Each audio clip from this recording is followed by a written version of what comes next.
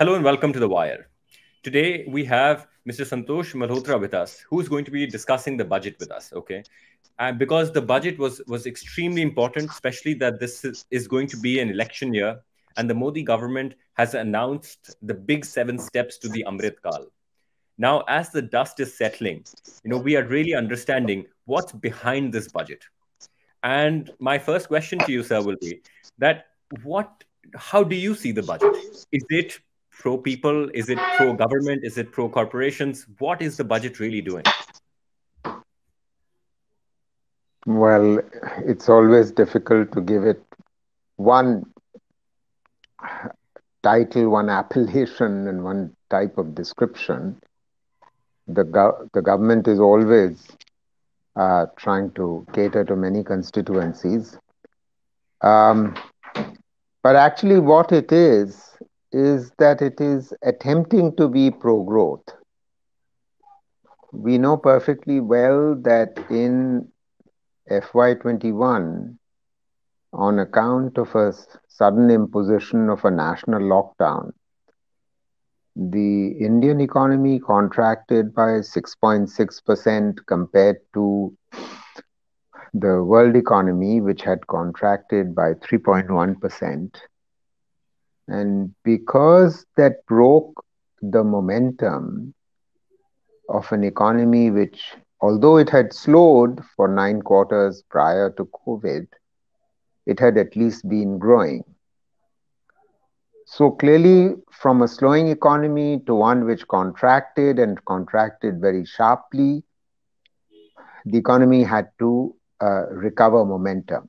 So what it it, the economy has managed to do in FY22 and FY23 is rebound to just above the level which prevailed before 90, uh, you know, in uh, fiscal year 20, 2019-20.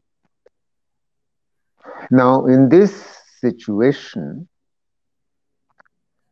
given that many other um, engines of growth, which we can come to in a minute, have not been firing, uh, the one engine of growth that the government has in its control, uh, which is capital expenditure, public investment, it ha- the government has attempted to use that.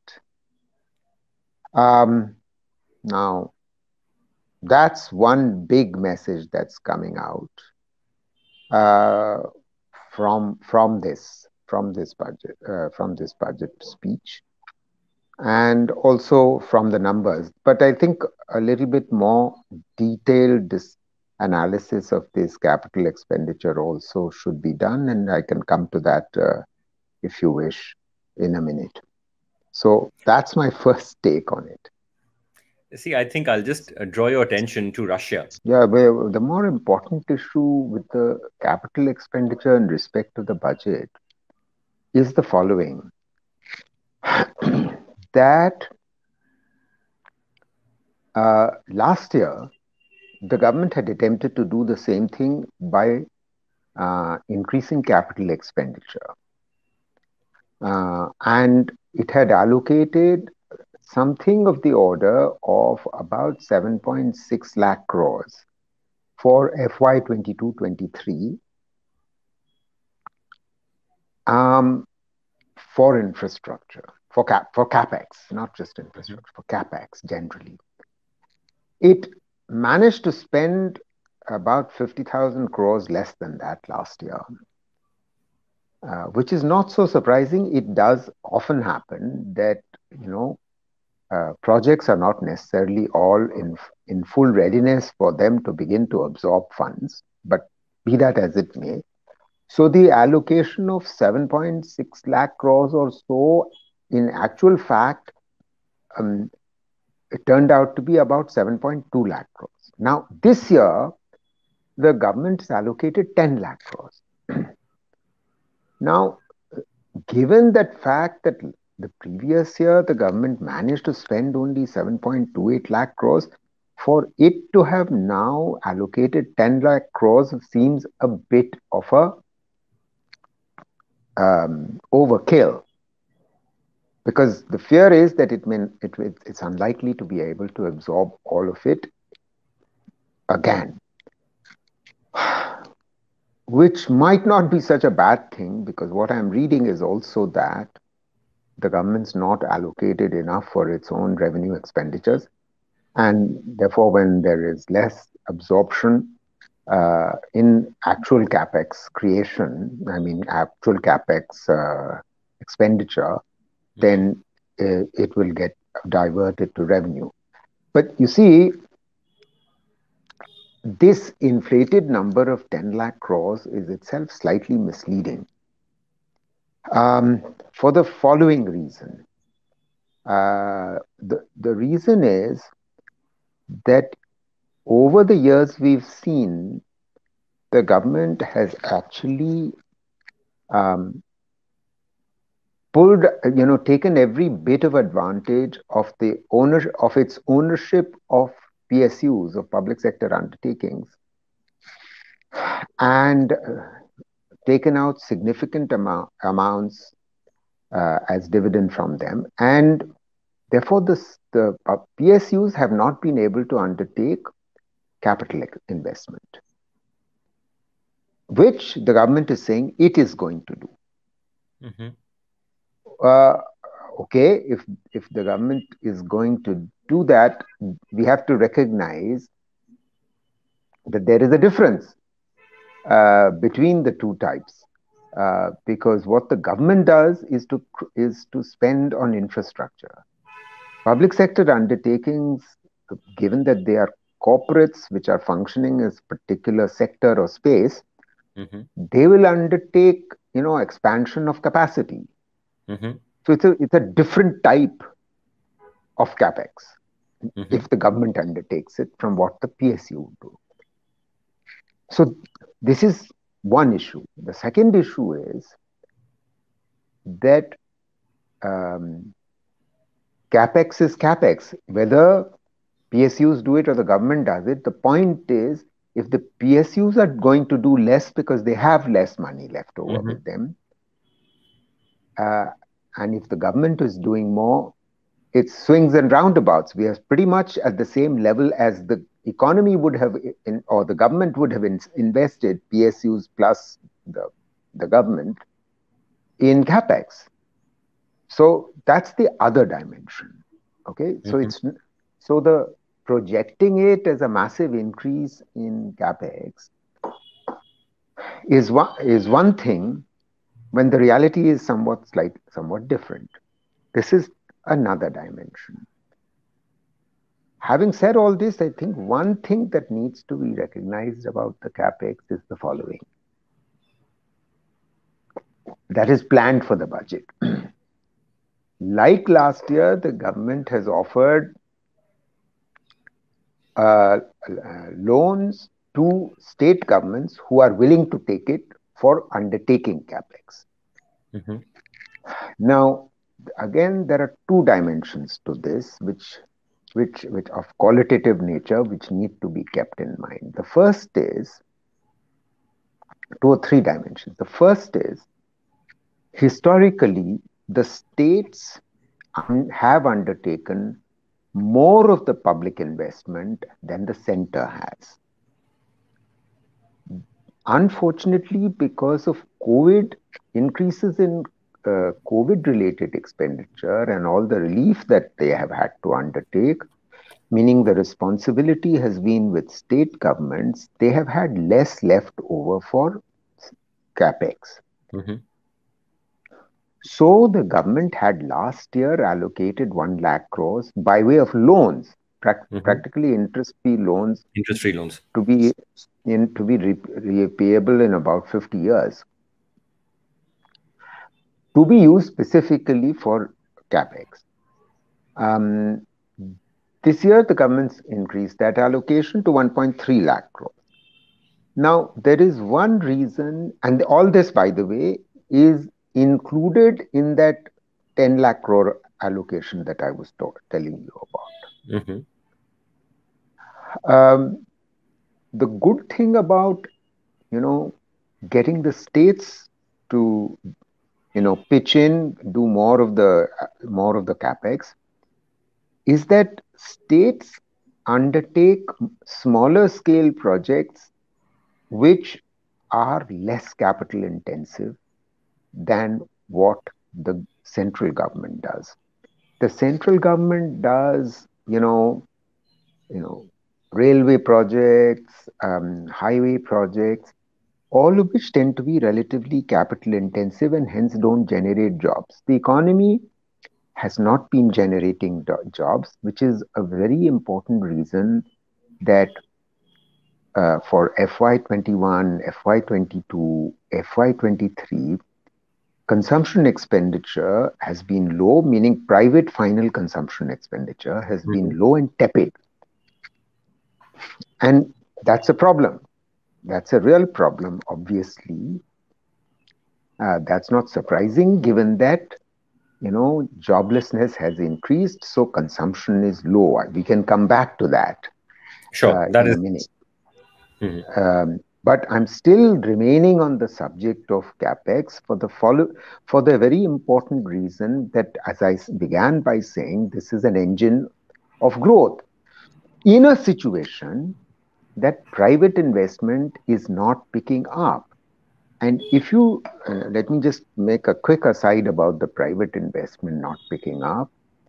Uh, it's if you look at the first advanced estimates of the of the Central Statistical Organization of the GDP for 22-23, and we must remember that this is just the first advanced estimates, and we also uh, know that there will be three more estimates of the by the CSO of uh, GDP before all this is finalized. The important point is that investment as a proportion of GDP, if you look at current uh, current estimates, meaning on the basis of current expend um, current prices,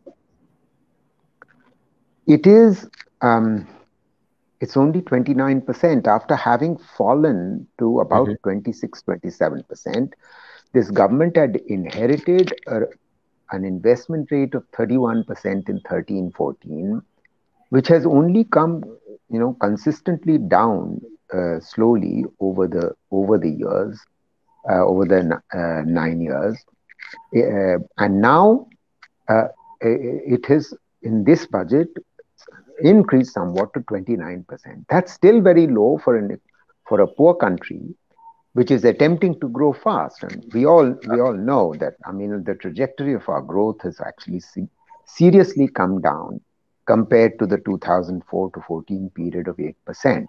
But so so let me go back to the issue of no no. Cap- I'll just like to interject budget, here, sir. Capex and the budget. Huh?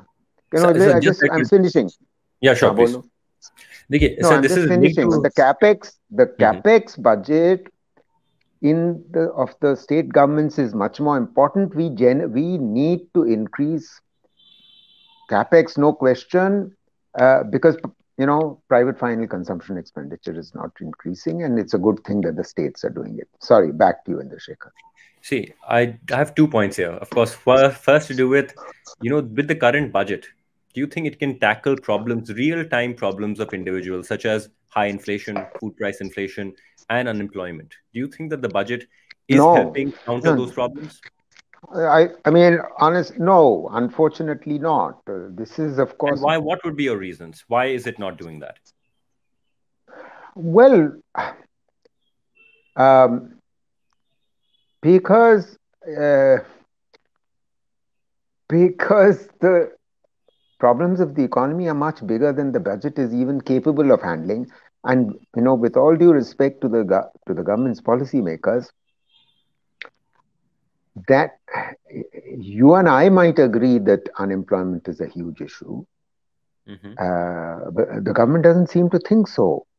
The government keeps making the claim consistently, and all the apologists of the government, whether it was the previous chief economic advisor uh, whether it was uh, the present chief economic advisor in the economic survey, whether it was the pre the previous ex- India's executive director to the International Monetary Fund, Dr. Surjit Bhalla, they all keep telling you, look at the PLFS, it's generating a lot of jobs. The economy is generating a lot of jobs. And I can talk, you know, I can dis- uh, speak to that subject. But I, I know and you know that the economy is not generating jobs and the PLFS data is, is misleading. And I can explain that. I mean, but then, then we will start talking about, you know, why the PLFS data is misleading then you know we, this will not be about about budget i'm sorry so if you i don't know what what oh, we want sure. to speak then I'll just, speak about then I'll just add another and the uh, final thing about uh, the about inflation, inflation, i mean the, the one thing that the government ca- could have done regardless whether you are announcing a budget or not is to you know reduce the the taxes and excise duties on and cesses on petrol and diesel. That's a hugely inflationary um, mm-hmm. uh, thing that the government has been doing uh, consistently over the last two years, and we we know why that that is happening because it has reduced personal income taxes, it has reduced the corporate taxes in the last three or, or so years. So it's now you know making up for it in a in a year if, in which the economy is in crisis. Sorry, I, I mean we are now sort of wandering in different directions, so I'm going to. Uh, ask you to ask your whatever question you want no, sure. to no no sure. we, we we at the wire we appreciate conversations wherever they go. And uh, so so just coming back to the inflation bit. See although we may not we may not agree we do not have the government numbers but we do have the numbers of the dollar the rising dollar the rising petrol prices the rising imports and the indian economy in the eye of the world. Now this brings me to your private investment comment which you made earlier. Now given that the us fed is increasing rates aggressively even at the end of January, we saw another 0.25% increase in the US Fed. If this number reaches another 0.5 or another 0.25, do you think the private investments in India are going to erode or increase? What do you think? Well, we know we know that uh, the Fed is likely to you know raise rates again, again. a bit. Um, because inflation is uh, tapering, uh, at least in the United States. Now, we know that as a result of that, it's perfectly possible that the RBI may be expected to raise rates again, though my suspicion is that there is enough division within the MPC, the Monetary Policy Committee, mm-hmm to prevent that from happening, it may well be that the, the members of the MPC, especially the independent members, tilt towards uh, main, maintaining the current rate of interest. Uh, because there were already two members last time which didn't want to raise rates. Now, um, you've, you've raised a, a good question, and this is a good question for the following reason also let's just remember that private investment is not picking up mm-hmm. for two sets of reasons. One, capacity utilization still is only at 73, 74%. And until capacity utilization goes up to somewhere close to 80%, the private investment investors and there's that cycle, investment cycle, does not resume. That's one reason. The other reason we've already been talking about, which is that private final consumption expenditure is still tepid, and it is tepid because joblessness is still very high. Very high. And the employment rate is low, and it has been falling. Uh, and and so you know, there's a very little likelihood that the animal spirits of private investors are suddenly going to perk up, and they will increase investment. So, so, so that's the other problem. Do you think that the budget is prepared, uh, you know, to tackle a global recession? Uh, uh,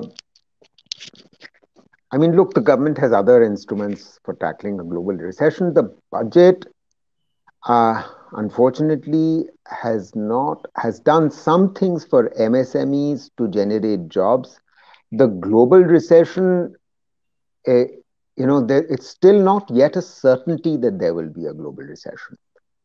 because if you look at US US economy um, performance in the second half of 22 the US economy had already picked up it had performed better but on the other hand we know that the Ukraine war is not going away the economic sanctions are still there uh, you know international crude oil prices are still quite high so it could go either way uh, in respect of a recession.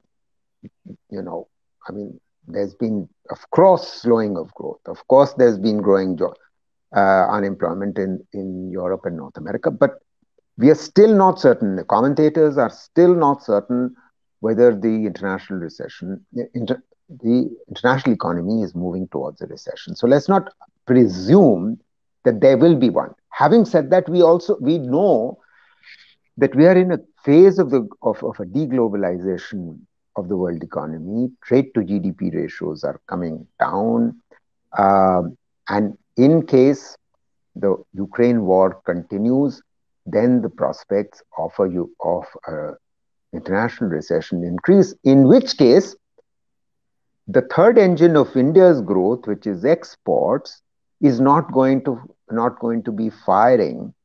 It, India's exports have already, uh, you know, tapered off in the second half of last year, mm-hmm.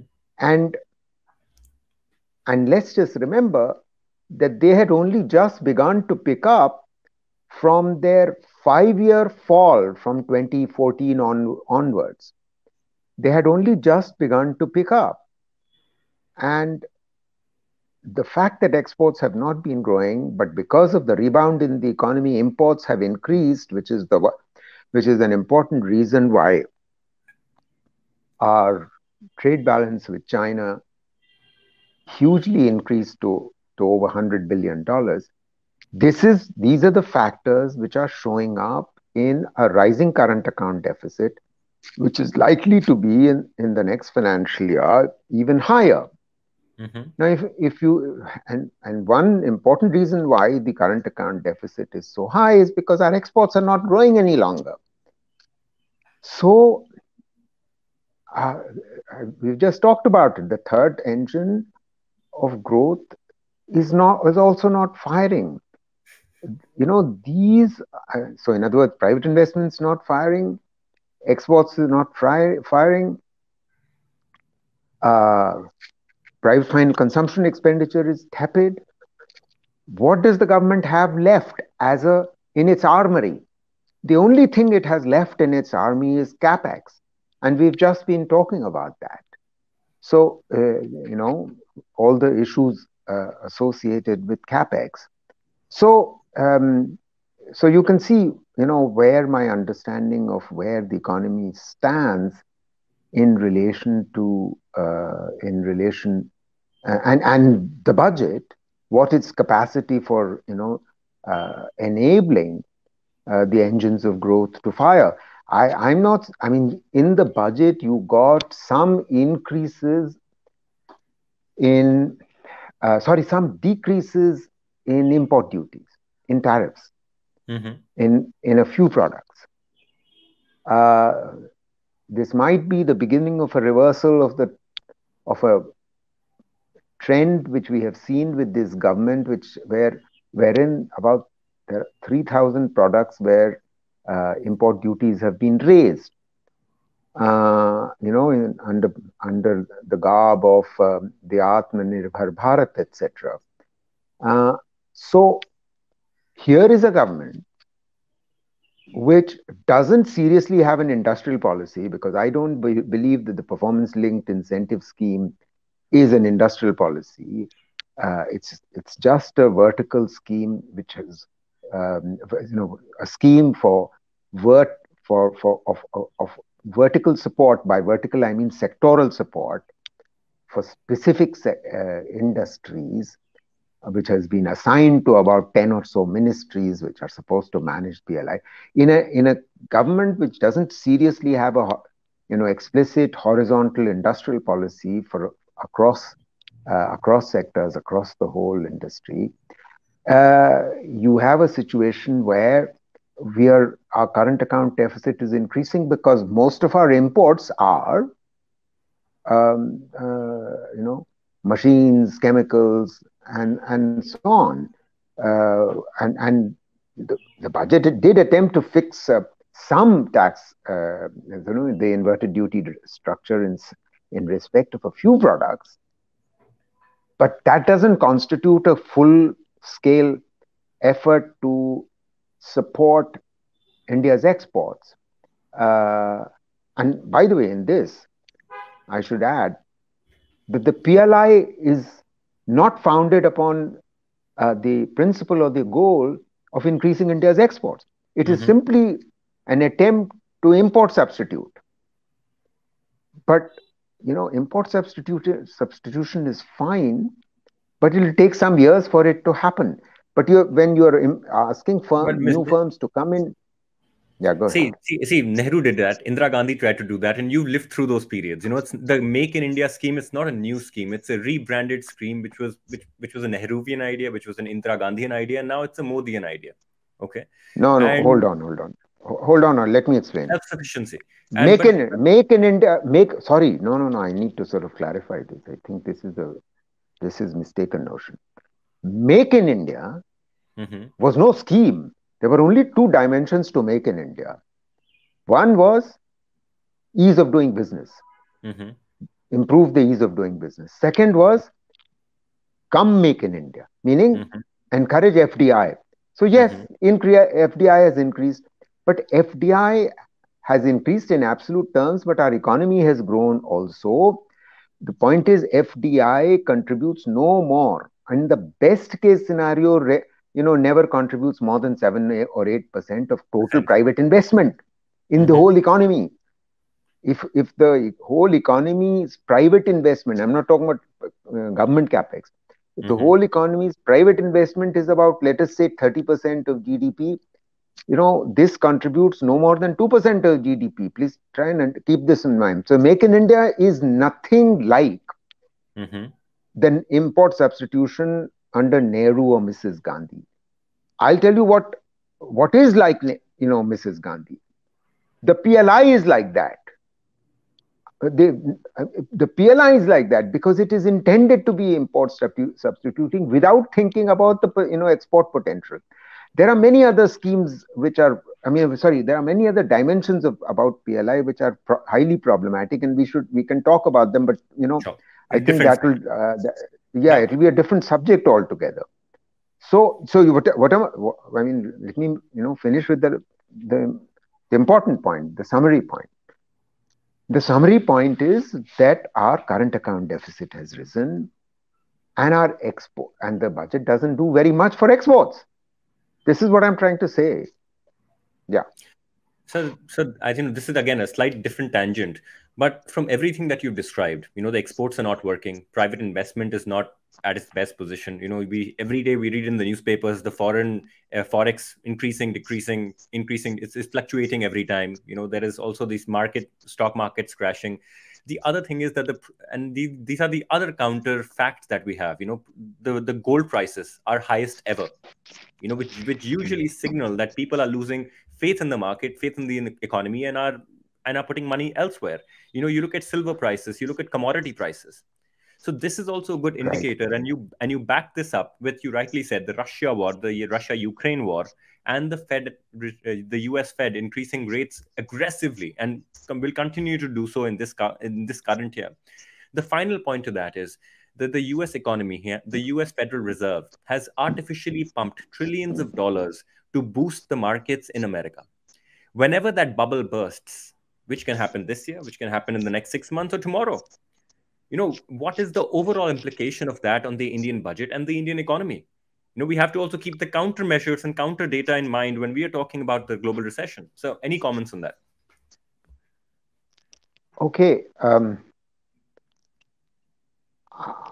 i'm not a great admirer of this government's uh, economic policy management over the last uh, eight or nine years uh, I think we've seen evidence of uh, poor economic policy management uh, ever since, particularly the exogenous, exogenous shock inflicted upon the Indian economy in the form of the uh, demonetization, which has very severely impacted uh, the MSMEs. And our capacity to uh, withstand another international recession, which is what I'm taking away from your question, has been weakened over a period of time uh, precisely because, as I was saying, our private investment has has been tepid, mm-hmm. and if that private investment doesn't pick up, uh, then our expectations of sustained growth of over 7% per annum, which is what we need to achieve if we plan to become, as we are constantly reminded we will become, uh, a $5 trillion economy by FY27. Well, we need to grow at at least 7% per annum consistently for that to happen we are only 3.2 billion dollars just now and we mm-hmm. may we may not even get to that by 27 we we will get to that if we grow at 7% but by 2030 and 31 so the what am i saying here? I'm saying that we are the poorest country among the G20 countries. Our per capita income is $2,200 we are the only low middle income country among the G20 countries. In terms of per capita income, we are at a rank of 147 in the world. Okay, out of a list of 180 plus countries. We might be the fifth largest economy, but in per capita income terms, we are, our rank is 147. Most people don't even know or recognize this. What do we need to do? If we want to reduce poverty, we have no choice but to grow at more than 7% per annum. And we and and all the uh, signals, all the signs are that we are not doing enough to grow at 7% per annum on a consistent basis without volatility, without going up and down in growth rate. And given that the rebound is complete, and I think we mm-hmm. should bring this discussion to a close now. Because given that the rebound from the contraction of the, of the economy during the pandemic is now complete, the and at the same time the four engines of growth are not firing enough, we are unlikely to achieve even 6% next year we we might have managed to achieve 7 this year and 8.7 in the previous year. But this as i keep repeating is a rebound from the contraction of fy21 and covid. So it's very unlikely that given all the the signals that i think we've talked about during this discussion with you the likelihood of our economy even getting to 6 next year 6% growth is very limited. It's more, it's more likely that it will be well below six. So then where is the goal of even a $5 trillion economy? So just a last when question. When will we now. achieve that? Yeah. So last question. So uh, if we talk about the social schemes, you know, even schemes like the MGNREGA, schemes the, like the PM Kisan, we find that there is a huge budget cut what do you think about that? The, although the Modi government is talking about building infrastructure, what about the people scheme? You know, some uh, some of the schemes that the poorest and the most underprivileged people of this country deserve. How is that going right. to figure out? Right, right. So first, let's uh, let's accept the fact that even in FY23, the government had allocated less for Manrega and it had to increase it because it's a in the middle of the year because it is a demand driven scheme. And this year it has allocated, you're right, it has allocated 60,000 crores. Almost certainly, if for the reasons that we've been discussing, uh, you know, 53 million people have been added to agriculture be- between the years 2020 and 2021. So there is very serious rural distress because such a large number of people jo- rejoined agriculture in those two years. Um, the demand for Manrega is ex- still extremely high, well above the monthly rate m- monthly rate of person days demanded, uh, well above the 2019-20 level. That means the pre-pandemic level. Therefore, the, there will have to be an increase in allocations for Manrega. So let's just get, get that uh, clearly out of the way. But over the course of the year, by the time you know an increase in allocation takes place, there will still be friction within Manrega. Friction by friction, I mean the following. Uh, already we know we have evidence that wages are not getting paid under Manrega. So people who are quite desperate for work are working, but they are not getting paid. So the, you know there are months of delays in in, in getting wages. This is a problem. Uh, on other welfare schemes in the budget, there's been an increase for uh, Jal Jeevan Mission from 55,000 crores to 70,000 crores. Uh, this has been a government commitment. So clearly, the you know in a pre-election year, the government is going to uh, you know make sure that this gets spent. Um, similarly, um, in um, uh, there's one other um, where there has been some increase. Uh, um, uh, this is sort of uh, uh, the education mission. The National Education Mission has seen an increase from about 32.6 uh, crores to 38.9, nearly nearly 39 thousand crores.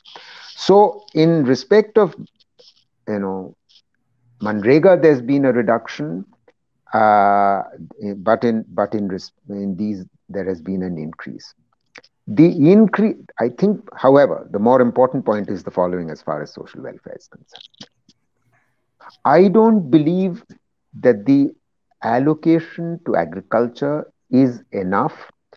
Let me explain uh, what the allocations are in the budget. The allocation in FY 22 23 was um, was uh, let me see what is it 77000 sorry well um, i'm looking at 77000 crores i'm talking about agriculture alone i'm not okay. talking about including pm kisan pm kisan i think has got the same amount this year as it had it no got reduced pm kisan is also reduced this year okay sorry for the, sorry for that but i you know okay i understand um, I mean, we'll have to do a separate show on PM Kisan. There are really very serious problems with the design of PM Kisan, but I don't think we should be. The point is, it might have been reduced, but I'm here speaking specifically about non PM Kisan agriculture. Sure. Non PM Kisan agriculture, FY23, the allocation was, and, and uh, RE expenditure was 77,000 crores. This year, the allocation is 84 84,000 crores. That's a 10% increase. However, I find this seriously inadequate for the following reason. Not just because you know Manrega amount is, is still low. I just told you something which you know should have really shocked you and which should shock your readers. That my estimate of of the number of people now suddenly uh, dependent upon agriculture mm-hmm. has shot up from 188 million in 2019 2018 19 to a whopping 233 million in on account of the reverse migrations of 2020 and of 21 if if anyone thinks that in uh, 2021 you know people were leaving uh, people were leaving their rural homes to go back to their jobs in urban areas in the rest of the country. Some of that did happen but it didn't happen anywhere close to what people you know people might believe. There was still an 8 million increase in those dependent upon agriculture in fy 22 meaning in 21 22 now what is the implication of this a 55 54 million increase in the numbers dependent upon agriculture. The share of agriculture in total employment rising from 40% in 1920 to 46% in 21 22 sorry 2021 is a is a unbearable burden upon rural areas and agriculture because that leads to real wages declining, which is why poverty is likely to have increased in rural areas. Under such circumstances, the agriculture needed a boost. Agriculture investment needed a boost. Agriculture uh, uh, public investment needed to boost because you need to increase productivity in agriculture. Under these circumstances, the allocation of a mere increase of 10% when the inflation rate has been running at over 6% in any case, in real terms, it's a mere increase of about 4% in agriculture. This is the problem. In other words, precisely the sectors which are suffering, mm-hmm. which have taken a hit, they are not getting the support that they desperately need. This is the point I'm, ta- I'm making. Uh, and, and I think we should, with this, um, bring this to a close. So thank you very much for being on the show. Uh, we would love to have you again and discuss more aspects of agriculture and economy. Viewers, if you have any more questions, please do don't forget to type uh, your comments on our YouTube channel and comment on our Twitter page. So keep watching The Wire. We'll have more analysis and more shows for you shortly. Thank you very much. To receive instant updates on all videos from The Wire, click the subscribe button and hit the bell icon. Pay to support independent journalism.